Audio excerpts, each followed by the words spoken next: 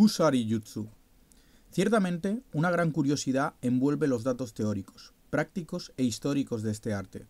Son de conocimiento general las innumerables leyendas y misticismos que embebían los diversos factores pertenecientes a la cultura japonesa en sí, y cómo era de esperar a cada una de sus artes. Así, no es difícil comprobar la existencia de muchos orígenes de escuelas y sistemas unidos a leyendas intrínsecamente relacionadas con la religiosidad. Aunque tales factores enriquezcan el arte o la cultura de la cual forman parte, por otro lado, nos dificulta el acceso al verdadero origen, ya que también debemos tener en cuenta que muchos datos no han sido preservados históricamente de una manera apropiada, remitiéndonos a determinados límites en lo que se refiere a creer en versiones y sus variadas interpretaciones de los supuestos hechos.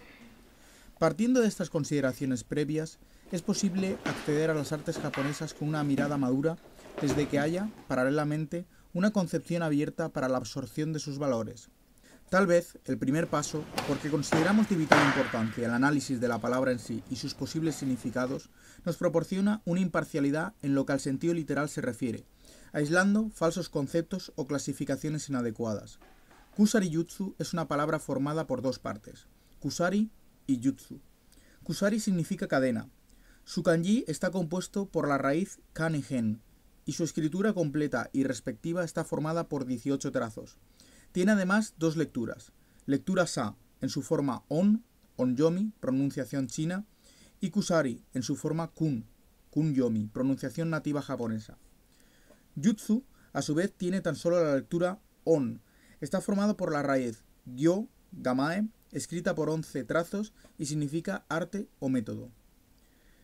Aunque la utilización de la kusari nunca haya pertenecido al acervo de las artes más nobles, al igual que las otras de su mismo carácter, alcanzaba gran eficacia aun contra armas como la katana. Aprender la totalidad de la extensión de las artes de guerra japonesas, bujutsu, ayuda a la comprensión de sus subdivisiones, Muchos practicantes atribuyen tan solo al aspecto militar la forma encontrada en este primer ideograma, Bu. Visto desde la óptica de 500 años atrás, en pleno periodo de intensas guerras, veremos que muchas cosas tienen explicación.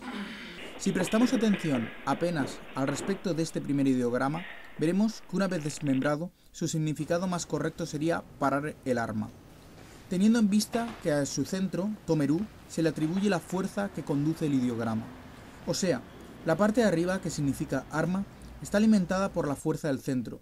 Esto nos lleva a la época en que todos debían saber defenderse, periodo en que el caos y la disputa entre los principales señores determinaba que la guerra inminente podría tener lugar. Así, si observamos el significado de esta palabra, bujutsu, podemos preguntarnos si sería su significado adecuado el arte de parar el arma. Pues sí, ya que su significado en esencia responde a la idea específica de arte de guerra. Podemos decir que en la guerra la mente es inherentemente clara y pura, pero está obstruida por la codicia, el odio, la estupidez, la arrogancia, por los cinco deseos y por muchos tipos de engaños. Por lo tanto, los grandes maestros de Haragei sabían que los que dominan interrumpen estos sentimientos, o sea, si las máculas fueran descartadas y las mentes se hicieran puras, se podría interrumpir el arma del adversario, del enemigo. Interior y exterior deberían estar en equilibrio, para el Haragei, el término Bu es la completa comprensión de la guerra, reconocer cada sentimiento en el instante en que surge. El medio para ello es la plena conciencia. Tan pronto comprendamos las causas y la naturaleza de nuestros sentimientos, estos comienzan a transformarse. Por eso, la eficacia de un determinado arte o arma se debe a innumerables factores a tener en cuenta, como el ambiente, la época, ya que es primordial conocer el grado de desarrollo de las otras armas y armaduras, factores climáticos, Además, no cabe duda el grado de habilidad y conocimiento estratégico de su portador. Considerando las condiciones ideales, partimos del principio de análisis de las características del arma en sí. La cadena posee gran capacidad de bloqueo en relación a las investidas de láminas muy bien templadas y afiladas, o incluso también con el cuerpo de armas largas, cuando éstas asestan ataques en determinados ángulos y velocidades. La Kusari también es de manejo flexible, permitiendo su fácil manipulación en cualquier posición. Sin embargo, no por ello este arte puede ser considerado de bajo nivel en su grado de dificultad y práctica. Los tamaños de la Kusari pueden variar, aunque normalmente se le clasifica en tres tamaños.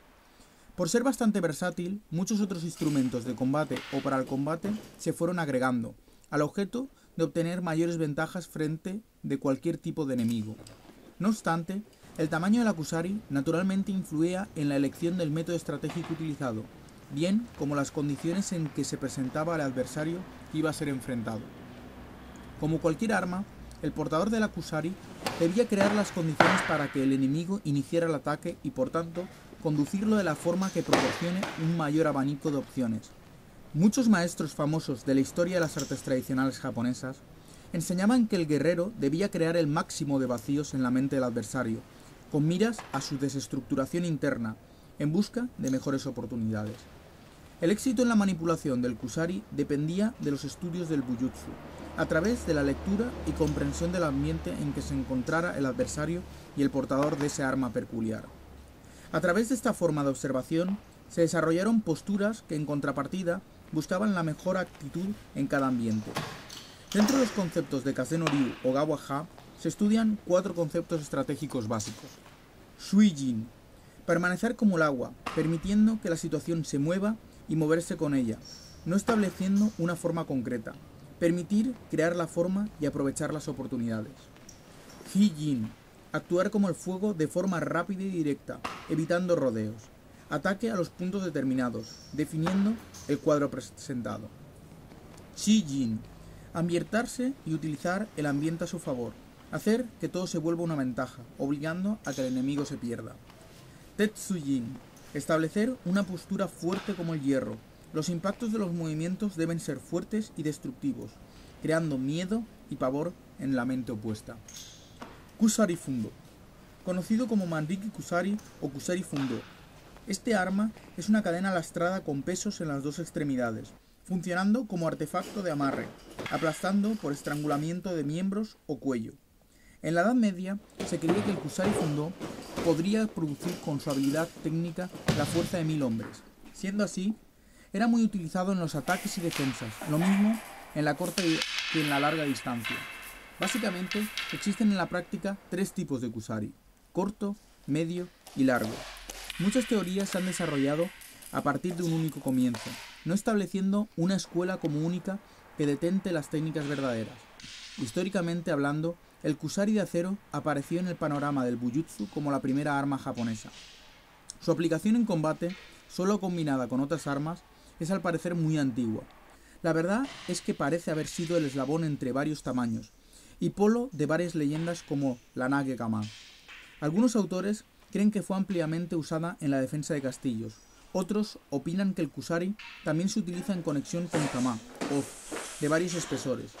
Habitualmente, el arma tiene una porción de hierro muy utilizada para la protección de las manos. Además de ser utilizada para atrapar el arma del adversario o proteger de ataques de armas con láminas, el peso del Akusari también es muy utilizado para temí, Manejada con habilidad, alcanza gran velocidad y fuerza, combinando series de golpes en puntos determinados del cuerpo. Aisladamente, los impactos podrían tener consecuencias letales cuando alcanzan los puntos más sensibles del cuerpo humano.